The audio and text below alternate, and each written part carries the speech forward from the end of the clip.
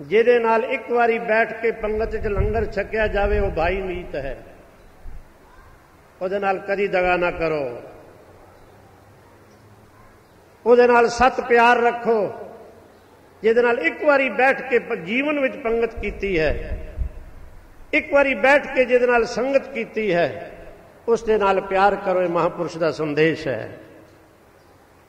ਪਰ ਅੱਜ ਅਸੀਂ ਪੰਗਤ ਵਿੱਚ ਹੀ ਵਿਸ਼ ਪਾ ਦਿੰਨੇ ਆ ਸੰਗਤ ਵਿੱਚ ਵੀ ਦੂਜੇ ਦੀ ਨਿੰਦਾ ਕਰਕੇ ਵਿਸ਼ ਪਾ ਦਿੰਨੇ ਆ ਜ਼ਹਿਰ ਉਗਲ ਦਿੰਨੇ ਆਪਣੇ ਮੁਖ ਤੋਂ।